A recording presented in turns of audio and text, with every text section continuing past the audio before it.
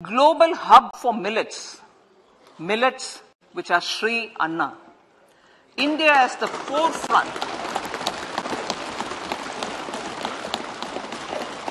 India is at the forefront of popularizing millets, whose consumption further furthers nutrition, food security, and welfare of farmers, said the Honorable Prime Minister.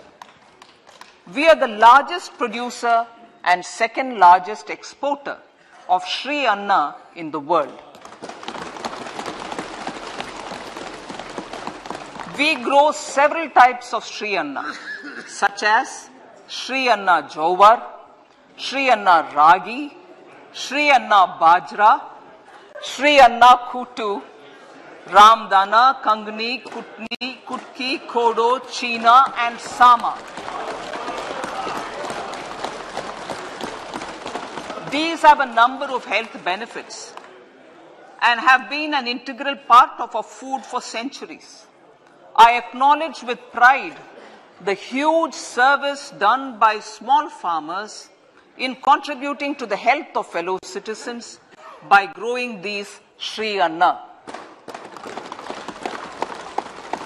Now to make India a global hub for Shree Anna, the Indian Institute of Millet Research, ideally Indian Institute of the Shree Anna Research, Hyderabad will be supported as the center of excellence for sharing best practices, research and technologies at the international level. The agricultural credit target will be increased to 20 lakh crores with focus on animal husbandry, dairy and fisheries. We will launch a new sub-scheme for of PM Matsya Sampada Yojana, which is an existing scheme, but we launch a new sub-scheme with targeted investment of 6,000 crores to further enable activities of fishermen, fish vendors, and micro and small entrepreneurs, improve value chain efficiencies, and expand the market. For farmers, especially small and marginal farmers, and other marginalized sections, the government is promoting cooperative-based economic development model. A new Ministry of Cooperation was formed with a mandate to realize the vision of Sahakar Se Samriddhi. To realize this vision, the government has already initiated compu computerization of 63,000 primary agricultural credit societies with an investment of 2,560 crores, 2,516 crores. In consultation with all the stakeholders and the states, model bylaws for PACS were formulated enabling them to become multi-purpose PACS. A national cooperative database is being prepared for countrywide mapping of cooperative societies. With this backdrop, we will implement a plan to set up massive decentralized storage capacity.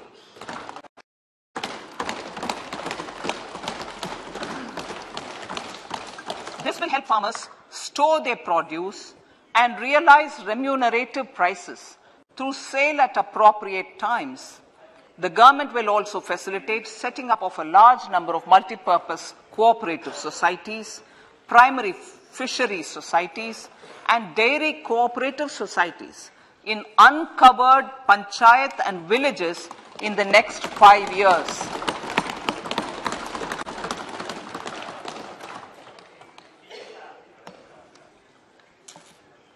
Health, education and skilling. 157 new nursing colleges will be established in co-location in co-location with the existing 157 medical colleges established since 2014. A mission to eliminate sickle cell anemia by 2047 will be launched. It will entail awareness creation, universal screening of 7 crore people in the age group of 0 to 40 years in affected tribal areas and counseling through collaborative efforts of central ministries and state governments. Facilities in select ICMR labs, Indian Council for Medical Research Labs, will be made available for research by public and private medical college faculty and private sector R&D teams for encouraging collaborative research and innovation. A new pharma program, a new program to promote research and innovation in pharmaceuticals will be taken up through centers of excellence. We shall also encourage industry to invest in research and development in specific priority areas. Dedicated multidisciplinary courses for medical devices will be supported in existing institutions to ensure availability of skilled manpower for futuristic medical technologies, high-end manufacturing and research. Teachers training. Teachers training will be re-envisioned through innovative pedagogy, curriculum transaction, continuous professional development, dipstick surveys, and ICT implementation. The District Institute of Education and Training will be developed as vibrant institutes of excellence for this purpose.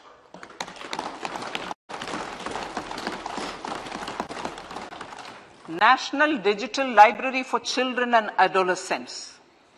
A National Digital Library for Children and Adolescents will be set up for facilitating availability of quality books across geographies, languages, genres, and levels, and device agnostic accessibility. States will be encouraged to set up physical libraries for them at panchayat and ward levels and provide infrastructure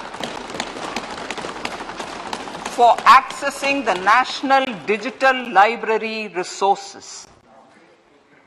Additionally, to build a culture of reading and to make up for pandemic time learning loss, the National Book Trust, the Children's Book Trust, and other sources will be encouraged to provide and replenish non-curricular titles in regional languages and in English to these physical libraries.